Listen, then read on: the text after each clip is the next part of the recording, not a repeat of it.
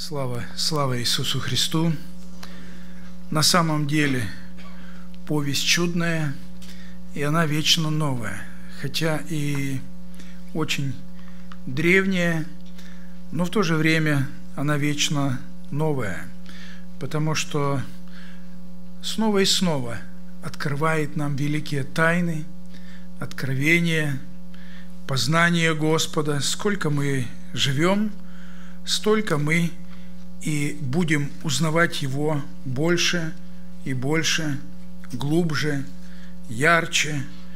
И мы удивляемся, мы часто удивляемся тому, что вот как раньше я знал Бога и как я Его знаю сейчас. Друзья мои, чем больше мы пробиваем в Священном Писании, тем глубже и тем качественней наши отношения с Ним, с Господом. Именно к этому Он нас ведет, чтобы наши отношения с Ним были качественными.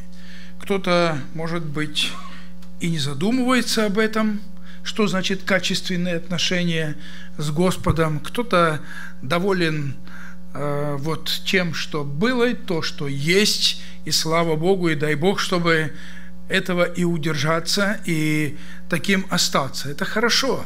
Это хорошо, когда мы удерживаем то, с чего начинали, вот те, тот темп старта, но намного, наверное, лучше, когда святой да освещается еще, и когда уже чем ближе к финишу, мы, выдыхаясь, не сходим с дистанции, но вот, ну, когда мы смотрим соревнования, Олимпийские игры, и вот всегда нас восторгает вот тот или другой спортсмен, который вот как-то вот держался, там силы экономил, а перед стартом рванул, и вот скандирует весь стадион «давай, Коля» или там Маша. И Маша дает, обгоняет, и приходит к финишу чемпионом, ленточка на груди, а апостол Павел об этом и говорил, чтобы мы с вами а, были чемпионами. Аминь.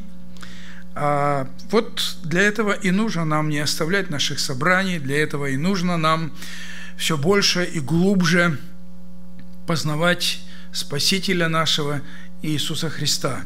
Простите, пастор, я, наверное, я не знаю, как правильно, не представился, да? Меня зовут, как и вашего пастора, Павел – я живу в городе Химках Московской области, и там служу в церкви. А мне больше 60 лет, на пенсии, слава Богу. Но, как говорится, у Бога пенсии не бывает, да? Мы все, наверное, молимся о том, чтобы до последнего вздоха Э, служить Богу. Так вот, на пенсии от официальных структур и установлений э, церкви. Надеюсь, э, это, это понятно, да? От организационных, от административных дел, ну, от духовных, наверное, мы никогда, никогда не будем на пенсии, потому что церковь это установление Божье, это создание Божье. Он сказал, создам церковь мою, и врата ада не одолеют ее. Это значит, что против церкви всегда врата ада будут предпринимать усилия, чтобы одолеть церковь или кого-то из церкви, выдернуть и вот, или попытаться атаковать. И мы, мы это знаем, мы это видим на своем жизненном христианском пути – но, но слава Богу за Бога, слава Богу за Его любовь. Есть такие выражения, они каламбурно слушаются, но у них глубокий смысл. Я вообще из российской церкви христиан веры евангельской. Кто-то слышал о таком братстве, да? Российская церковь, Пятидесятнический союз, если может быть проще, Пятидесятнический союз – который организовался в 90-м году, потом в 91-м году. Официальный был съезд, первым председателем был Владимир Моисеевич Мурза, вот вторым ваш раб или господин раб Павел Акара. И 12 лет я служил в Москве, а, ну, то вот э, жил я в Москве, потом в Химках. Ну, таким, такими путями Господь Господь вел. Сейчас российскую церковь возглавляет Эдуард Анатольевич Гробовенко. На следующей неделе будут очередные выборы или перевыборы, тоже как Бог управит. Но вот есть такая, такое понятие, как э, структура, которая нам необходима. А что же Господь имел в виду, когда говорил «создам церковь мою»? Наверное, прежде всего спасенные души. Наверное, прежде всего, чтобы каждый из нас был чемпионом. Но коль уж мы во плоти, то нам нужно ездить на автомобилях и соблюдать правила движения. А на, даже наши семьи нам обязательно нужно соблюдать некоторые установления. Там, брак зарегистрирован, дети, свидетельство, паспорт мы имеем. Так вот и церковь Иисуса Христа, она обязательно имеет некое свое установление, политику церковную, структуру церковную, правила, традиции церковные. И скажу вам, никуда от этого не денешься. Так вот, в институте нашем Российской Церкви однажды а, занятия были. И вот разбирали теологически, глубоко, основательно, все по коточкам раскладывая, вот каким правильно быть. И за основу был взял, взят текст, был взят текст – когда мытарь зашел в храм помолиться и бил себя в грудь, и преподаватель, у нас опытнейший там преподаватель, ему так удалось красиво вот раскрыть эту порочную э, суть фарисея во Христе. Ну, сегодня фарисеи во Христе, тогда не было еще во Христе. И вот этого мытаря, и, конечно, э, все студенты, а у нас студенты, пасторы, епископы из Российской Церкви, нерегистрированного братства. И, и так были проникнуты вот этим хорошим примером мытаря, который нуждался в Боге, который осуждал себя, что в конце кто-то не выдержал из студентов, братья и сестры, давайте вас благодарим Господа, что мы не такие, как тот фарисей.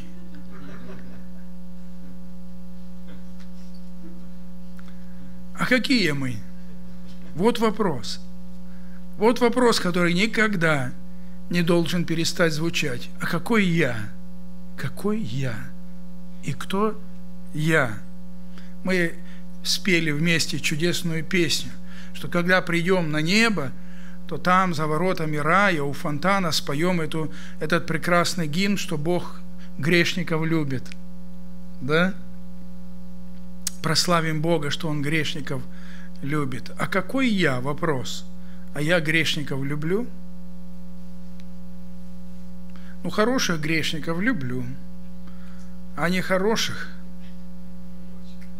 Да. Трудно любить. Пытаюсь любить. Иногда хватает терпения, или иногда не хватает.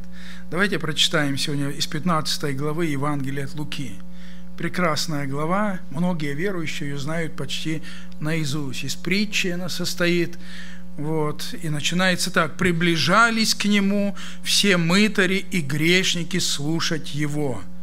Фарисеи же и книжники роптали, говоря, он принимает грешников и даже ест с ними». Но он сказал им следующую притчу – кто из вас, имея сто овец и потеряв одну из них, не оставит девяносто девяти в пустыне и не пойдет за пропавшую, пока не найдет ее? А найдя, возьмет ее на плечи свои с радостью, и, придя домой, созовет друзей и соседей и скажет им, «Порадуйтесь со мною, я нашел мою пропавшую овцу» сказываю вам, что так на небесах более радости будет об одном грешнике кающемся, нежели о девяносто девяти праведниках, не имеющих нужды в покаянии. Вот я сейчас один из пасторов Московской церкви, называется «Слово спасения». И мы учредили такую новую традицию нашей церкви – каяться каждое воскресенье. Сам я корнями из нерегистрированного пятидесятничества, и мой папа был пастор, епископ а, вот в этом братстве.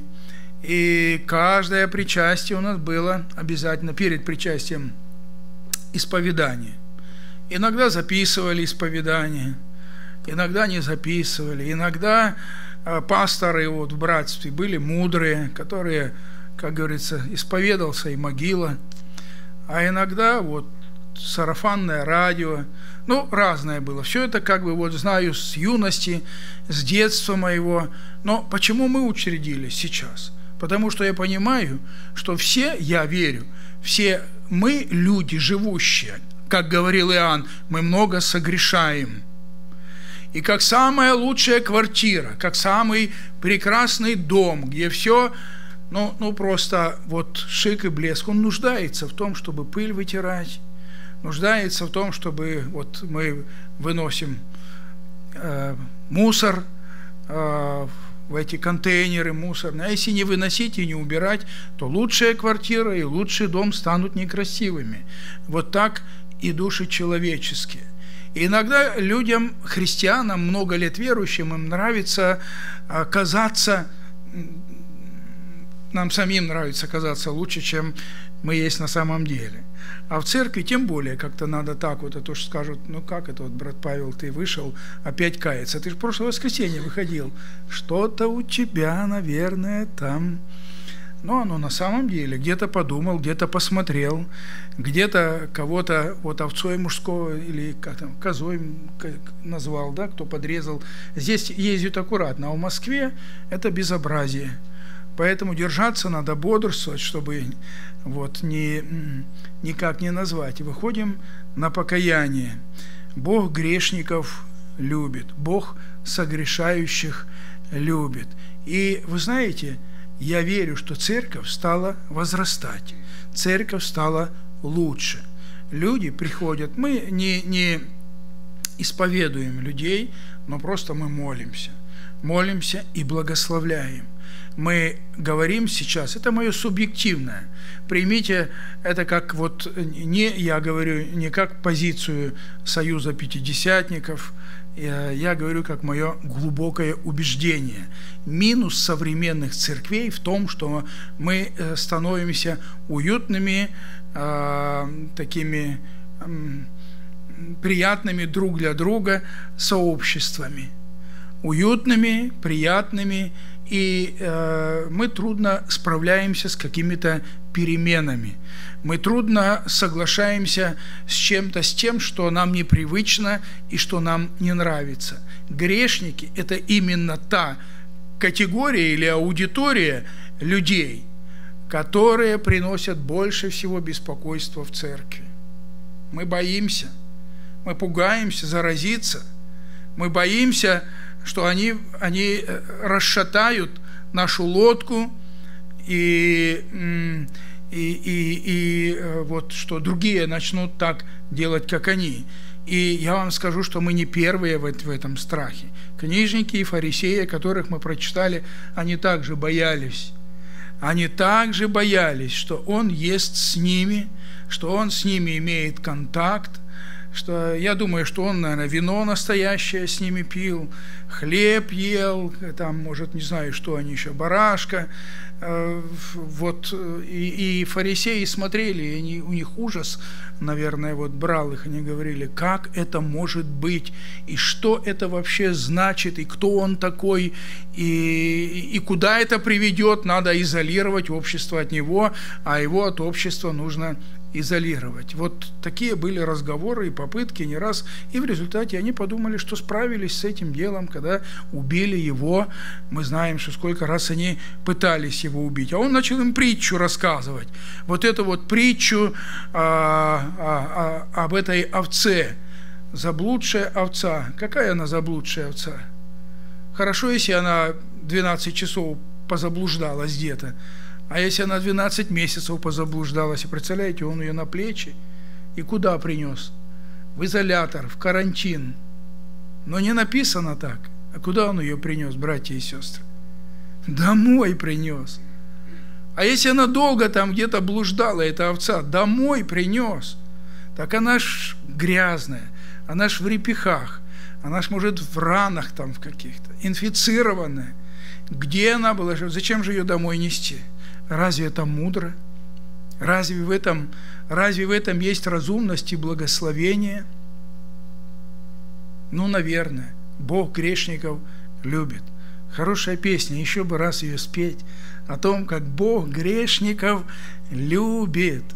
Любит Бог грешников. Дорогие мои, я гость, поэтому гостям всегда проще говорить то, о чем они думают. Все равно ж потом пастор подправит, как надо. И будет правильно все. Если бы я был в команде, то я бы, конечно, проконсультировался. Все теологически. Э, но я, я знаю, что я говорю в Духе Святом, и а, вы, вы мудрые люди, вы опытные люди, и вы разумеете, о чем говорю. Все церкви нуждаются а, в изменении. Начать любить грешников. Грех, да, грех ненавидеть. Грех нужно ненавидеть самым лютым образом. И в этом я должен знать себя, я себя, не научиться казаться вам, а я должен знать себя, что я ненавижу грех. А это только я знаю, когда глазки мои смотрят на что-то вкусненькое, на что-то вожделенненькое, у кого что – кто чем богат. Один брат говорил, захожу, как только захожу вот, э, в магазин, где стоят ал- алкоголь, ну все, ну вот, ну вот, вот, вот просто теряюсь, вот, и не могу ничего с собой сделать. А другой говорит, ты что, ненормальный, нашел на, на, на чем, ну вот, у каждого свое. Один брат уже, вот он старше меня намного, говорит, как начинается лето, туши фары. Хоть на улицу не выходи, не могу на женщин смотреть, молодых и красивых. Ну, честный человек, правда? Ну, так, а если это есть?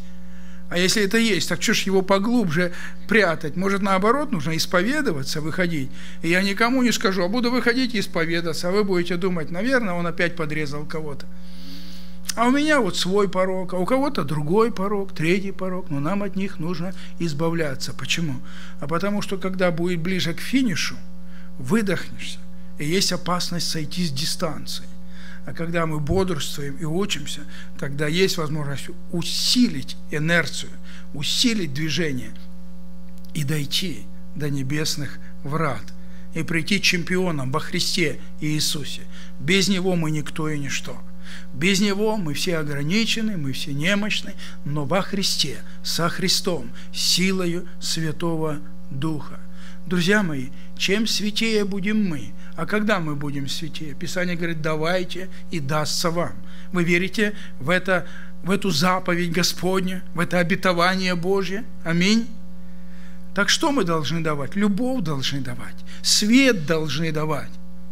Христа должны давать людям. Вот что главное – Вопрос номер один. Христа. Кто нуждается в Христе? Да вот те, которые заблудились или которые не знали, которые избиты, изранены, жизнью изранены, грехом изранены, друг друга оскорбили, поранили, побили. Много людей, которые искалечены, они нуждаются. Только церковь должна идти и находить их. Заканчивается эта глава вот большой притчей о блудном сыне – о блудном сыне. Всех нас, наверное, удивляет, когда мы снова и снова читаем и перечитываем, как он так вышел и не спросил, ну ты ж как, сынок, наелся рожков, со свинями побыл, больше не будешь или будешь? Ну, лично я, я, я бы вот так, я ж тебе говорил, я бы первое это сказал. Я ж тебе сколько говорил, вот теперь давай, походи, посмотрим.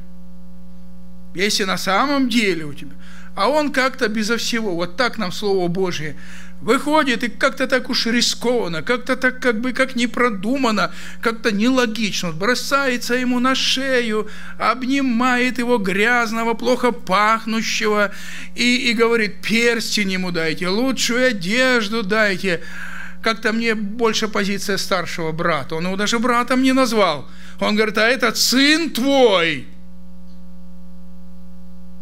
который, и все перечислил по порядку. Что он делал, когда делал и как делал. Я-то нет, я-то ни одного из повелений твоих не нарушил. Я-то вот работаю, всегда и в церковь хожу, и все, все, все, все, и в хоре пою, и пастора слушаю, и слова не сказал. А вот этот вот, а ты ему вон что. Грешников любить. Дорогие мои, грешников любить. Грешников любит Бог – Он говорит, этот пошел оправданным больше, чем тот. Правильный, очень правильный. Закей был совсем неправильный. Половину имения раздам. Кого чем обидел, воздам в четверо. А тот, молодой, богатый, был правильный. Все это сохранил от юности своей. И отошел с печалью.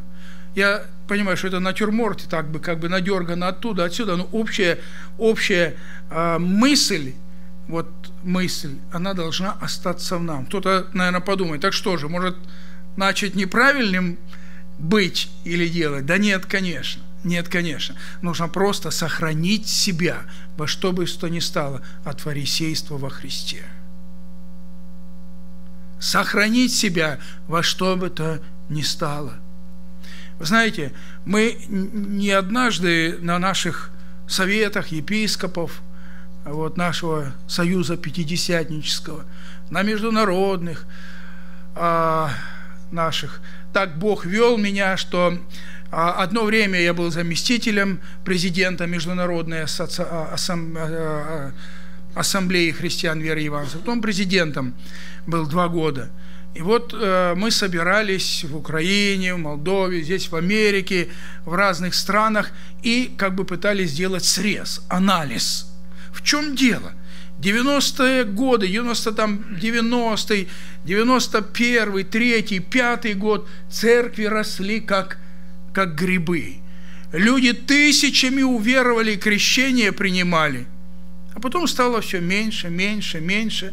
А потом стало убавляться даже, стали церкви закрываться. В чем причина? И мы спрашивали, а как у вас в Беларуси? Сергей Хомич, епископ по Беларуси, или Михаил Паночка. А как у вас в Украине? А как в Молдове? А как прибалтийские страны?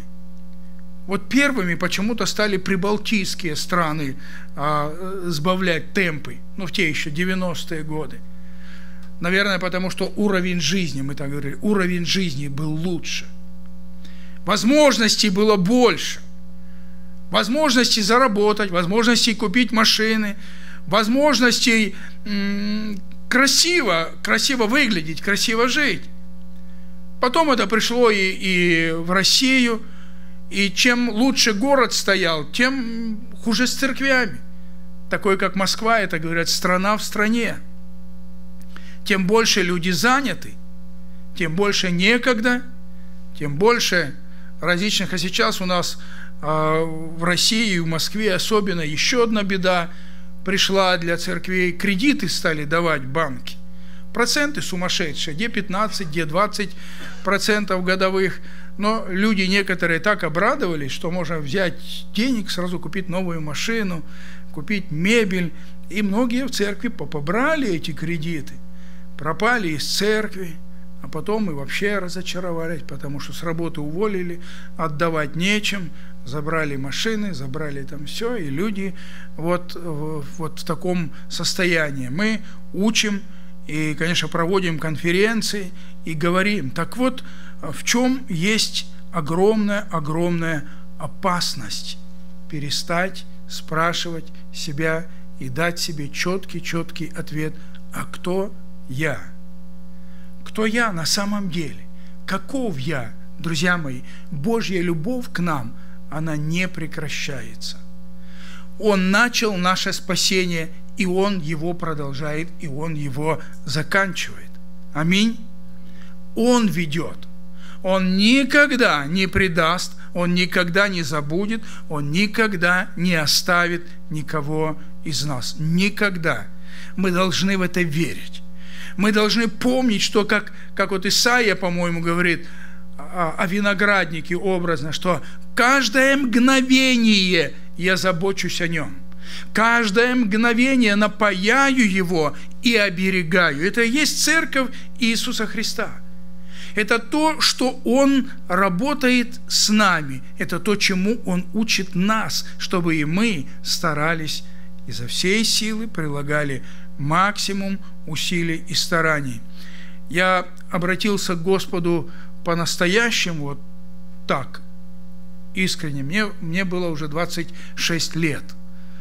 А Какой-то период было такое время внутреннего бунта, несогласия. Ну вот этот юношеский период ушел в армию, потом женился, потом поехал в Сибирь на заработки. Но всегда, как, как из верующей семьи, всегда молились, и Духом Святым был крещен в 14 или 15 лет, то всегда, конечно, Господь вел. Вот я хочу сказать о том, что какие бы ни были у нас переживания, Бог ведет. И уже в 26 лет или 27 лет я стал хором руководить, регентом, любил музыку, играл вот на инструментах, обучать грамоте. И сердце вот Бог положил, то, что делаешь для меня, делай как для Бога. Ну, как, как мы читаем, как написано. Как-то вот, вот, вот просто, просто это от Господа, наверное, взял это за основу, взял это за правило жизни, взял это за, за то, чтобы неизменно было, ну, вот так вот, ну, как, как вы знаете, у пятидесятников э, нерегистрированных, ну, во всех тогда было и баптистские церкви, а семьи были большие.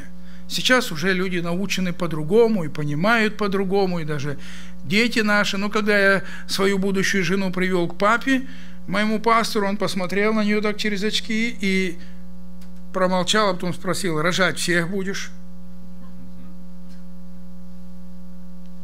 Ну, сказала, да восемь детей у нас э, Бог дал, а, вот внуков только десять. Непослушные дети уже не те. Но верю, что все это дело наживное. А, друзья мои, это возможно служить Богу со всей силой. Это возможно преодолевать, кажется, непреодолимое. И внутреннее, и семейное внешнее, и э, то, что есть э, в каких бы ни было обстоятельствах. Это возможно оставаться верным Господу, несмотря ни на кого, ни на что. Не должно быть нам стыдно каяться, не должно быть нам стыдно проповедовать, не должно нам быть стыдно общаться с теми людьми, которые, может быть, выглядят не так. Не должны мы бояться, а что скажут, а что подумают. Не должны. Писание говорит, что если мы человека угодничаем под любой маркой, если мы лицедействуем, как бы вот, а кто это в нашей церкви? Когда в 93 году э, я в то время уже был епископом по Северному Кавказу, сам я родом из Новочеркасска, Ростовской области, э, там и, и папа мой э, родился – возле Новочеркасска. И в 93 году в Ростове мы начали э, церковь, ростовскую христианскую церковь. Э, и как-то так вот Бог положил в сердце начать ее не в тех правилах и не в тех традициях, в которых я вырос. Естественно, я старался, чтобы э, не огорчить папу моего, потому что он со многими пасторами и епископами служил тогда, и сказали бы, что это твой сын, а вот служит не так. Как я уже сказал, я был в то время уже старшим пресвитером по Северному Кавказу, и начал эту церковь вот так, что мы были без платочков, и там начали хлопать. Да, вот такой был как бы грех, как или как, как не знаю, как вы понимаете. У вас хлопает или нет? Новшество такое. Ну вот, вот в, те, в те годы. И Бог дал мне в сердце вот ясность, какой должна быть церковь. Она начала расти 100, 200, 300, 500, 700 человек. Ну, тогда многие каялись, вы, вы помните, одну афишу, и, и тысячи людей на стадионы приходили. И я взял тогда на одно из собраний классную доску, из класса принесли службу порядка мел, и я говорю, ну давайте, братья и сестры, порассуждаем, какая у нас должна быть церковь, модель. Вот есть вот такая модель, и вот как мишень нарисовал. Вот это ядро церкви. Здесь мы будем богобоязненные, знающие истину, а вот это будет другой круг. Потом я позже прочитал книгу Рика Уоррена, тогда я не читал ее. И думаю, боже мой, как точно, в 90 ее, наверное, и не было еще написано, Дух Святой положил это на сердце. Вот эта модель, она хороша тем, что э, есть те, которые чтут Бога и ищут, и другие, которые еще знают Его как-то, и есть третьи люди, и там шестой круг, которые вообще, может быть, вот с вокзала придут, бомжи плохо пахнут, перегаром несет, но они будут приходить, потому что мы их любим в церкви, мы их накормим, кому-то одежду, кого-то как-то там постираем, я спросил, вы хотите такую церковь? Они говорят, да, пастор, хотим. Ну, вы знаете, что к нам гости будут приходить из других церквей, баптистских, пятидесятнических? Ну и хорошо. Но они же, они же увидят вот это окружение. Они же не увидят ядро, где вот посвященные, духовные, плачут, молятся, постятся. Они знают, к чему ведут церковь. Они же увидят и придут и скажут, да у них там церкви, от одного перегаром разит. Другой там же да вытанцовывает как-то. Они же так и скажут, это вот такая церковь там у Акары. Может, говорю, другую модель хотите? Вот другая модель, прямоугольник – нарисовал здесь, мы уж до крещения не допустим, кого попало и как попало. Пусть он сначала бросит пить, бросит курить, бросит плохо думать, бросит, ну все побросает, чего мы не смогли побросать за свои 30 лет и 40 лет служить. А потом, может быть, крестим. Причешем всех, как надо – оденем всех как надо. Что не надо, поснимаем. Что надо, оденем. И тогда, кто придет в нашу церковь, будет причесанная, братья без галстуков, длинными рукавами, у сестер юбки хорошие. Ну, тогда эта церковь будет вот, вот так. Какую вы хотите церковь? Пастор, давай вот эту мишень будем. Хорошо? Риск, риск большой, дорогие мои любить грешников, а грех ненавидеть. Любить грешников всем сердцем, любить грешников. Не так, конечно, как Бога или жену, или мужа, или семью свою. Это, это наша кровь, это прежде мы должны спасать и заботиться, и кровь, и плоть, вне всякого сомнения. Но церковь должна быть, любая церковь Иисуса Христа, как Христос. Он любил грешников. Я не говорю о том, что если кто-то остается в церкви и продолжает блудить или наркоманить, я, э, эти вещи мы все прекрасно понимаем, и, и об этом и говорить не стоит. Писание четко и ясно. Я говорю о том, чтобы любить грешников. У многих сегодня терпения не хватает. У многих сегодня великодушия не хватает. Меня бы кто любил. Обо мне бы кто позаботился – что уж там на кого-то. Друзья мои, этот принцип и это обетование работает, как работало всегда. Давайте, и дастся вам. Давайте, и дастся вам, и приумножится. А если не сможем давать, ну тогда съедим все семена, которые и были, а сеять будет нечего. Этот принцип работает всегда. Мы проводим семинары для мужчин, наверное, так как и вы, для женщин проводим и, и, и учим мужчин, как они должны любить своих жен. Я недавно проводил такой семинар и говорю, представляете, братья, вот если бы вы пришли домой, а ваша жена посмотрела вам в глаза таким вот любящим взглядом и сказала, дорогой мой, прости, в чем была неправа за всю жизнь, хочу быть самой лучшей женой, подскажи мне, от чего мне нужно избавиться, в чем нужно исправиться, что нужно стать делать не так. И мужчины все переглянулись, да ну, ты чем? Я говорю, так давайте мы им дадим в этом пример. Давайте мы придем и вот так скажем. Да как, чтобы она начала мне говорить, в чем мне исправляться, сразу же под каблучником стану. Я же мужиком перестану быть. Что дети, то скажут. Если она будет говорить, этого не делай, с тем ты неправильно поговорил, или Друзья мои, но ведь Иисус же первый церковь возлюбил. Как Ефесянам 5 главе пишет апостол Павел. И предал себя, предал себя за нее. А Коринфянам мы читаем, что Он есть примиритель. Он примирил с Богом грешный мир. не вменяя людям преступлений их. А как он примирил? Фессалоникийцам апостол Павел открывает, как он примирил. Смирил себя самого. Вот как, братья, надо, чтобы жены не надышались наши на нас. И говорили, да мой, он самый лучший. Он настоящий мужчина, он и посуду помыть может, и памперсы поменять, и, и постирать, и, и пропылесосить, и кушать приготовит, пальчики оближешь. Вкусно, экономно.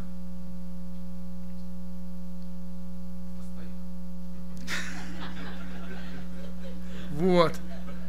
Не только на 8 марта. Ну вот, пастор практикующий. Я сразу чувствую мужчин, которые, да, и постоянно. У меня 8 лет заместителем был там Павел Анатольевич Бак. Благословенный брат. Звоню ему, ты сегодня дома, да? Опять суп варишь? Ну, конечно. Ну, мне надо с тобой вопросы решить. Ну, вот сейчас, говорит, посуду помою. Постоянно. Иду, говорит, домой, 150 рублей в кармане, купил мясо на 150 рублей.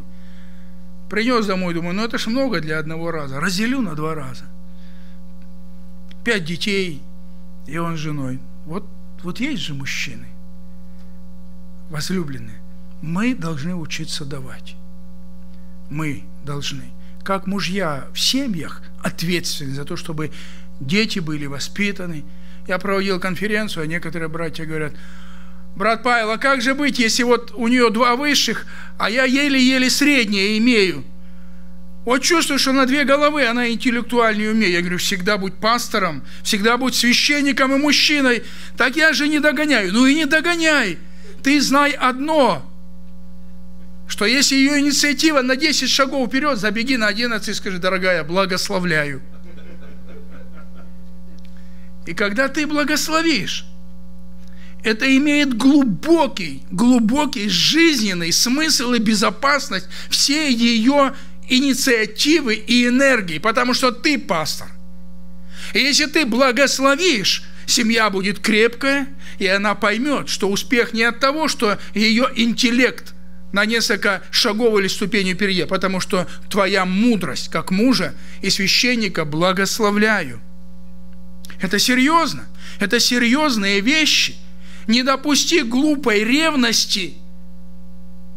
Не допусти каких-то чувств неправильных, чтобы, а, ты всегда, ты вперед, ну и делайте, ну и посмотрите. Ну, это, это, это все детский сад вообще, это, это, не, это не свойственно взрослым людям.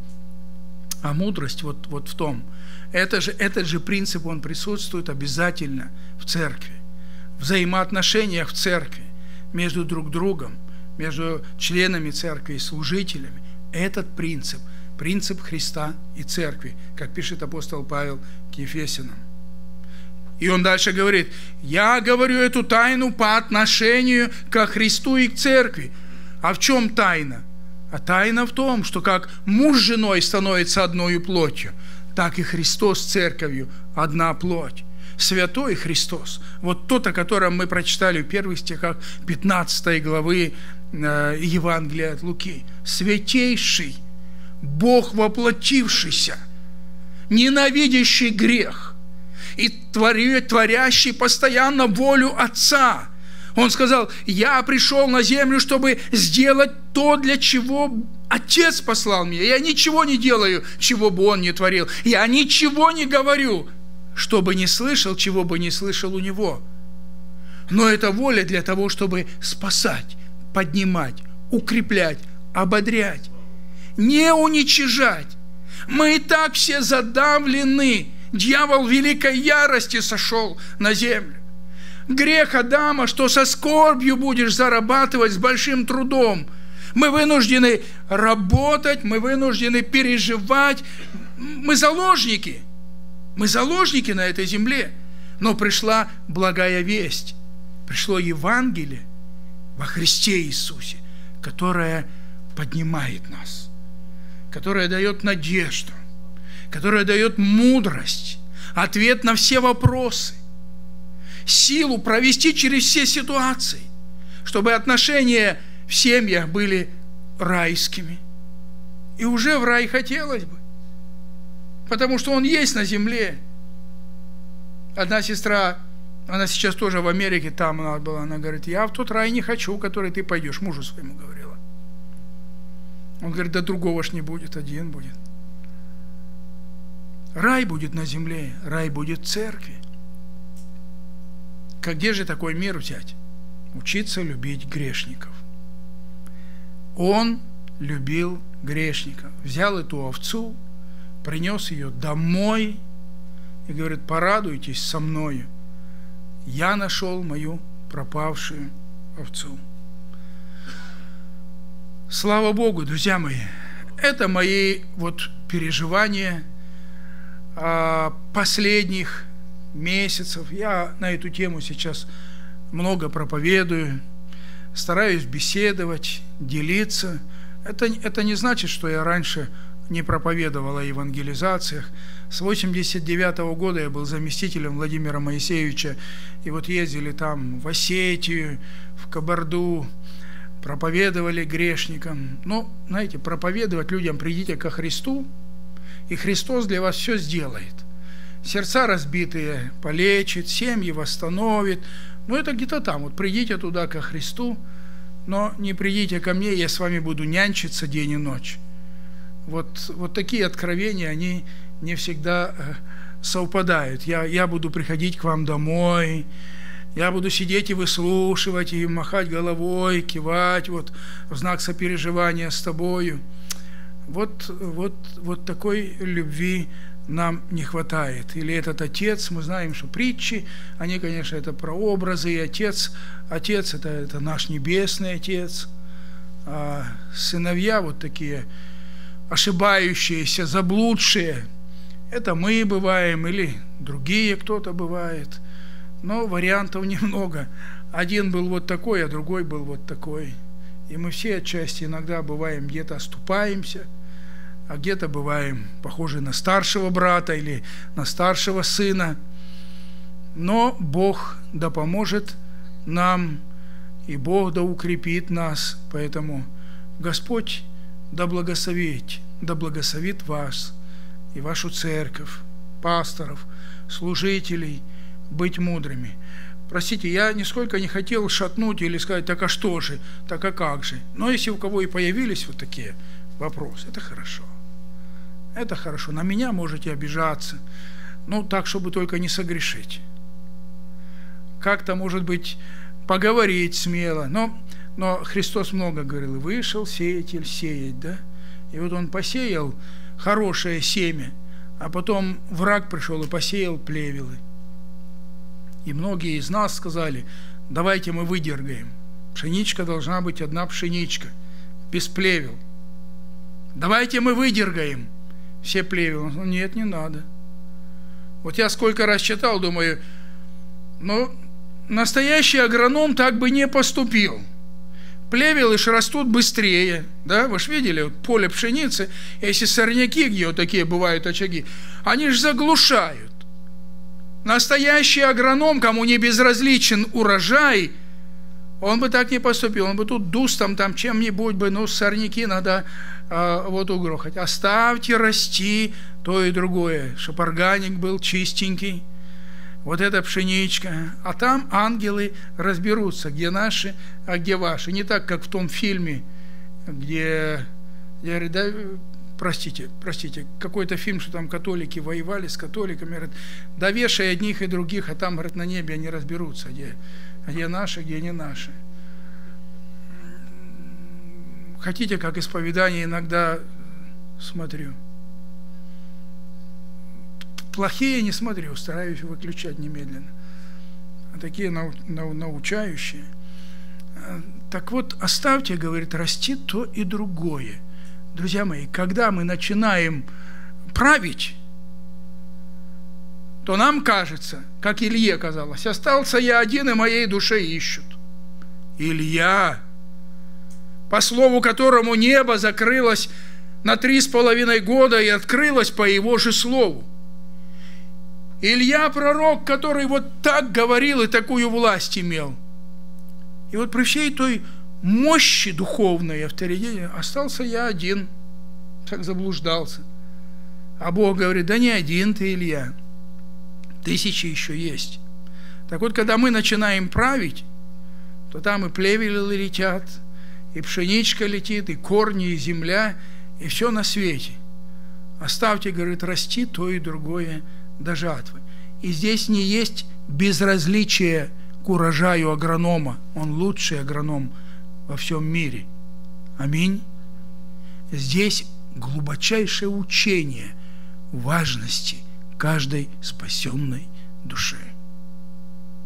Вот через все эти притчи красной нитью проходит глубочайшее учение, как драгоценен тот, кто спасен Богом, за кого умер Иисус Христос.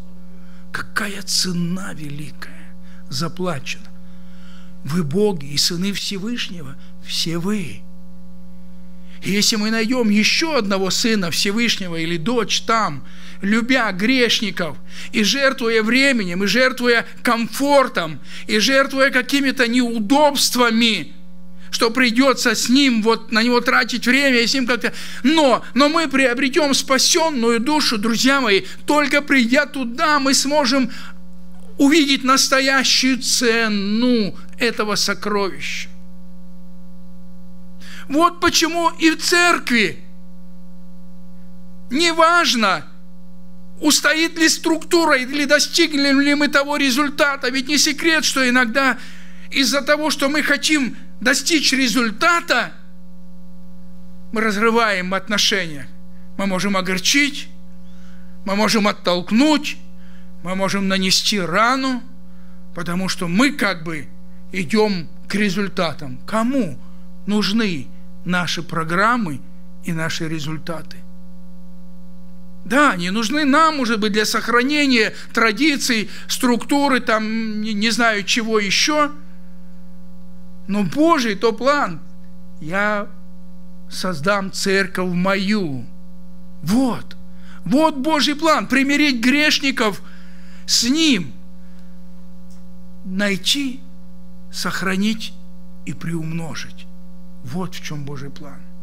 Вот об этом и говорят эти притчи. Если я не буду, не научусь любить грешника, то между собой очень трудно будет ценить, очень трудно будет вы, в, в, сохранить в любви отношения. Здесь начнутся наши, ваши, фамильные кланы или, или там конфессиональные, чего только не было. Вот за мою недолгую жизнь но пришлось увидеть и в Советском Союзе, и в России, и в других странах на самых разных уровнях. А сегодня христиане задаются вопросом, в чем дело, почему церкви пустеют.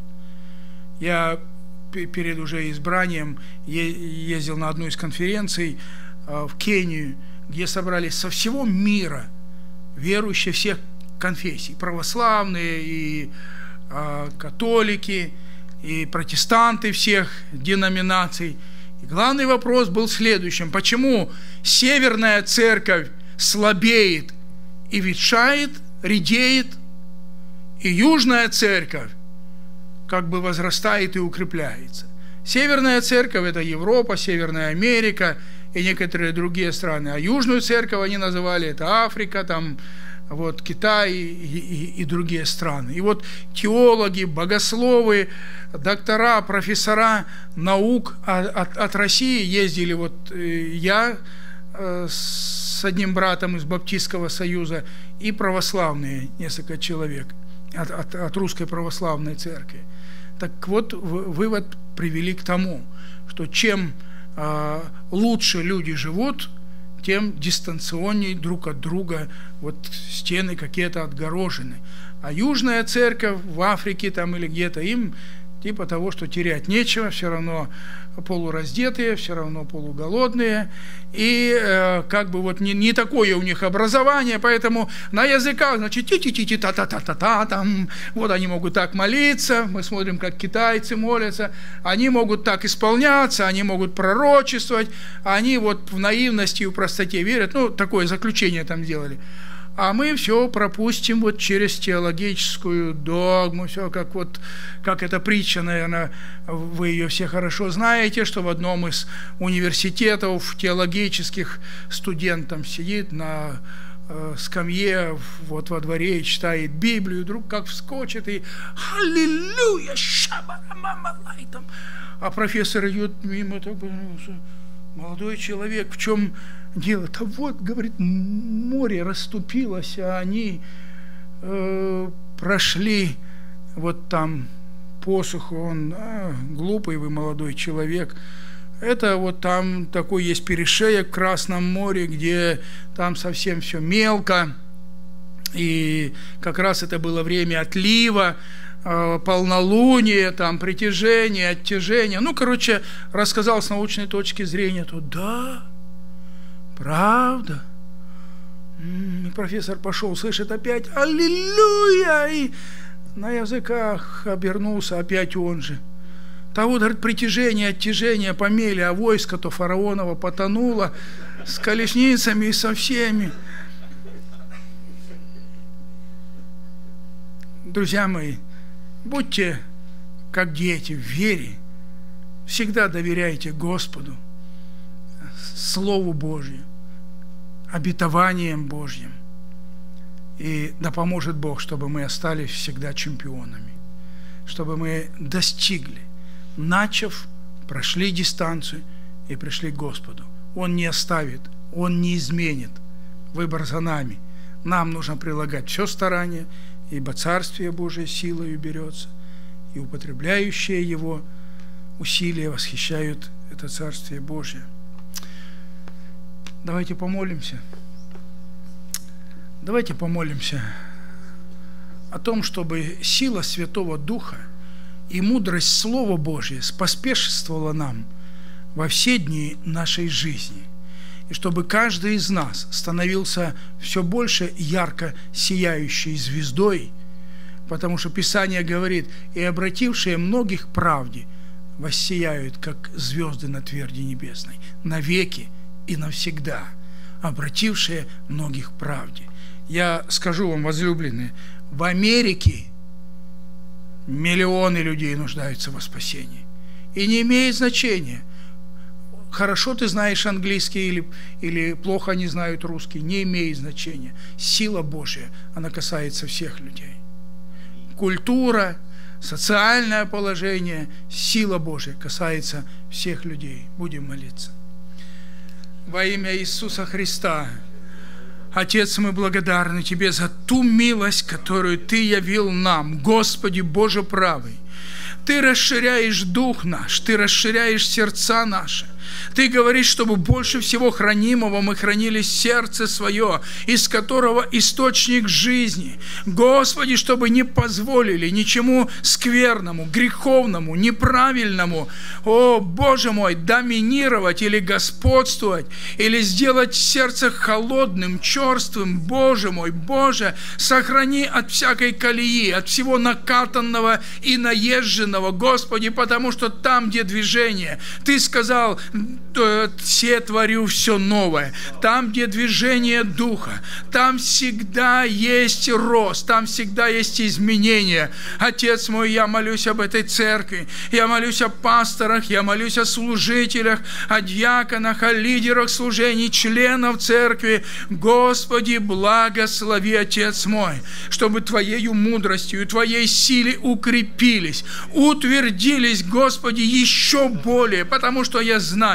ты вел, и Ты проводил каждого своим путем. Господи, где-то было начало, обращение, где-то было время испытаний, потому что Ты есть Бог испытывающий, Господи, и у каждого свой путь, и у каждого своя гора, Господи, у каждого своя, может быть, та печь, тот огонь, который проверяет нашу верность, наше посвящение. Иисус, но Ты всегда Духом Святым Святым, говоришь в сердца наши, чтобы мы любили Тебя, любили всем сердцем, всею душою, всею крепостью и всем разумением своим и ближнего своего, как самого себя. Отец, Ты сказал, что церковь Твоя как город, стоящий наверху горы, как город, который не может укрыться. Господи, и сколько бы ни было поместных церквей в одном и том же городе, их свет необходим, их свет важен. Господи, чтобы находящиеся во тьме приходили к истине Твоей. Я молюсь о каждом человеке в этой церкви, и я прошу, Господи, чтобы Твоя истина и Твой свет Евангелия просвещал до глубины нашего естества, настолько, чтобы мы сами себя видели, чтобы в наших домах дети, мужья, жены, мы могли радоваться свету Твоему, радоваться отношениям, радоваться жизни, радоваться заповедям Твоим, Евангелию, Господи, чтобы эта радость неизменно перетекала в церковь. И в церкви, Господи, да находим всегда отдушину, Боже мой, и отсюда, чтобы мы могли нести в мир людям, окружающим нас, которые нам кажутся непонятными. Господи, враг их так настраивает, или они а, от того, что изранены, Господи, как бы контуженные, как бы вообще безрассудные, Боже мой, но только прикосновение Твоей любви, только прикосновение благодати Твоей, оно сильно исцелять, оно сильно, Господи, для того, чтобы являть благость и помощь Твою во имя Иисуса Христа. Отец, мы молимся и мы просим Тебя, Дух Святой, руководи, наставляй и вразумляй благодатью Твоею и силою Твоею через дарование, через проявление откровений Твоих, через нашу веру, Господи, Боже, Дух Святой, благослови, исцели всякого, кто нуждается в этом, Господи, физическое ли исцеление, духовное ли исцеление, Господи, исцеление отношений, Боже мой, или всякое отклонение от истинной нормы Твоей, по благодати Твоей, Дух Святой, я ходатайствую, Господи, чтобы Твои проявления и Твоя сила, и Твоя благодать умножались более и более. Во имя Иисуса Христа благодарю Тебя за этот вечер. Благодарю и верю, Господи, что то слово, которое Ты позволил мне говорить сегодня здесь, Господи, оно будет услышано кем-то, как-то, но в Твоей премудрости Ты силен взращивать, и Ты силен производить а, плод, пребывающий в жизнь вечную. Милость Твоя да умножится, и благодать Твоя да пребудет во имя Отца и Сына и Святого Духа.